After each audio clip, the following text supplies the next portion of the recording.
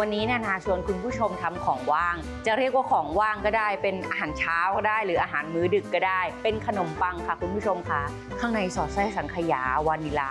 ข้างนอกเป็นคุกกี้กาแฟกับกรอบโอ้โหทำง่ายมากๆ อย่าตกใจสังขยาก็ทำง่าย คุกกี้ก็ทำง่าย วันนี้เนี่ยนะคะทำสังขยาให้เพอร์เฟกทุกครั้งคุณผู้ชมเลือกใช้นี่เลยผงทำสังขยากลิ่นวานิลาตราโลโบค่ะคุณขาใช้สะดวกรสชาติอร่อยหอมมันหวานกำลังดี อยากได้สังขยาข้นหน่อยลดปริมาณน้ำลง อยากได้สังขยาเหลวหน่อยเพิ่มปริมาณน้ำร้อนขึ้น แต่ทั้งนี้ทั้งนั้นน้ำต้องร้อนจัดนะ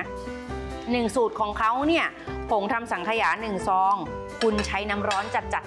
120 กรัมค่ะ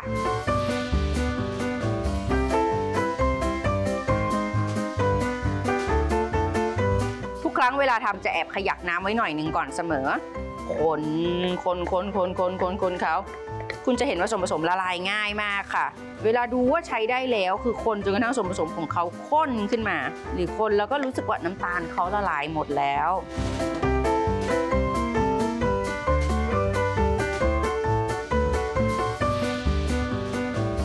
อยากให้ข้นขึ้นอีก เอาใส่ไมโครเวฟสักครู่หนึ่งได้นะคะ เนื้อจะมาเป็นแบบนี้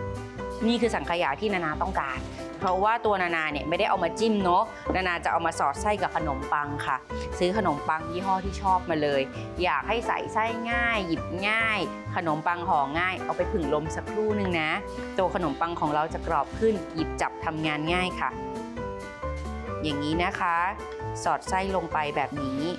อย่าใส่เยอะ เพราะว่าเดี๋ยวเวลาปิดเขาเสร็จแล้วหั่นจะลำบาก ได้ขนมปังแบบนี้มานะคะ เกลี่ยขนมปัง เหลือขอบไว้นิดนึงค่ะ เวลาประกบเสร็จแล้วเนี่ยเขาจะไหลลงมาเอง เพราะถ้าคุณทาพอดีขอบเลยอะเวลาคุณประกบเสร็จปุ๊บเนี่ยขอบข้างๆเขาจะปิ้นออกมานะ แบบนี้นะคะได้อย่างนี้ คุณสามารถทำแบบนี้แล้วก็ฟรีซไว้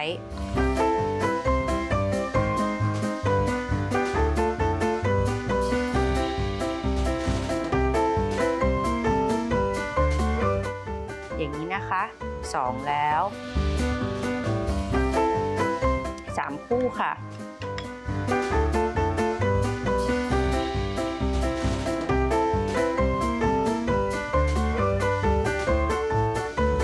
แบบนี้ค่ะปิดอย่างนี้นะคะ วางทิ้งไว้ เดี๋ยวเรามาทำหน้าคุกกี้กันค่ะ ไอตัวหน้าคุกกี้อันนี้เป็นแบบหนึ่งในขนมยุค 90 ที่เราแบบชื่นชอบตอนเด็ก ๆ เลยที่ต้องไปต่อคิวกินเป็นขนมปังลูกกลมๆเนาะแล้วก็มีกลิ่นกาแฟหอมๆแล้วก็มีไส้เนยข้างบนจะเป็นคุกกี้กับกรอบๆเนี่ยตัวนี้นานาเอาสูตรนั้นมาประยุกต์ค่ะคุณคะวิธีการทำก็ง่ายแสนง่าย คุณจะใช้เนยสดก็ได้ใช้มาการีนก็ได้ แต่เย็นอุณหภูมิเนี่ยนะคะอยู่ในอุณหภูมิห้องหรือให้ละลายนิดนึงแบบนี้จะทำให้การทำงานของคุณง่ายขึ้น ไม่จำเป็นต้องมีเครื่องตีไข่ใด ๆ เลยนะน้ำตาลไอซิ่งค่ะ กาแฟเข้มๆเลยกาแฟผงอะแล้วก็ละลายน้ำแบบนี้ จากนั้นสูตรนี้ของนานาประยุกต์ค่ะคุณ นานาใส่กะทิลงไปแล้วแน่นอนกะทิวันนี้ที่ใส่เป็นอัมพวากะทิร้อยเปอร์เซ็นต์ค่ะ ขาวข้นหอมมันเหมือนกะทิขั้นสด ทิกับกาแฟเนี่ยเวลาทำขนมกับคุณแม่คุณแม่ชอบพูดว่าเขาเป็นเพื่อนรักกัน แล้วแน่นอนค่ะ เวลาใส่กะทิลงไปเนี่ยหนึ่งเนี่ยนะคะ จะมีกลิ่นหอมๆที่สำคัญมีความมันจากกะทิเข้าไปด้วย และตัวช่วยเนี่ยนะคะที่ทำให้หน้าคุกกี้ของเรากรอบ แล้วก็เป็นทรงขึ้นมา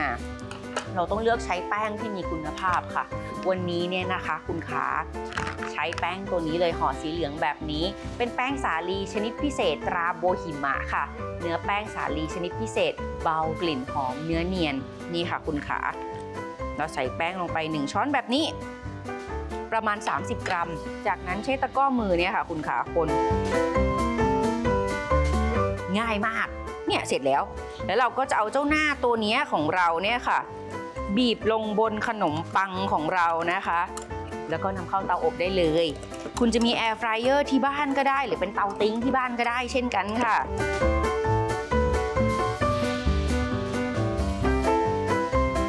เวลาทำขนม ถ้าเคาะตะก้อมือกับกะละมังหนึ่งเสียงดังสองหลาย ๆ ครั้งตะก้อเบี้ยว หรือบางครั้งเคาะแรงชามแตก คุณทำแค่เนี้ยเอาตะก้อเคาะกับมือแบบนี้ค่ะ มือก็ไม่เลอะ ตะกร้อก็สะอาดเสียงก็ไม่มี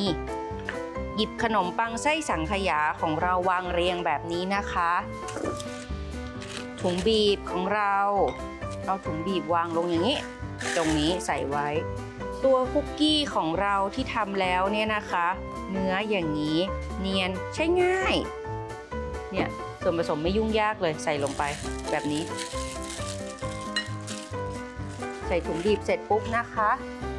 กันไกตัด เวลาล็อกถุงบีบอยากให้การทำงานง่าย ลูดถุงบีบลงอย่างนี้ เอานิ้วโป้งเป็นตัวล็อก แล้วก็จับมืออย่างนี้นะคะ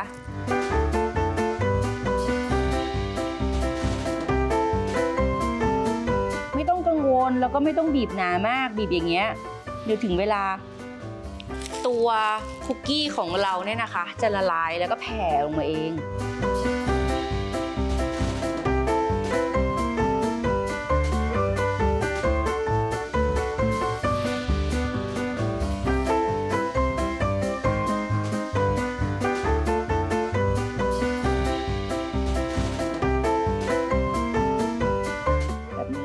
จริง ๆ สูตรนี้ได้ประมาณ 4 แผ่นค่ะ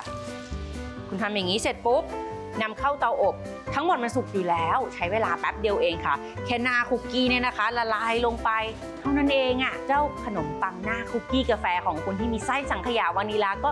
พร้อมเสิร์ฟแล้ว เสิร์ฟกับนมอุ่นๆกาแฟร้อนๆอร่อยมากเลย ลองเอาสูตรนี้ไปทำทานกันดูนะคะ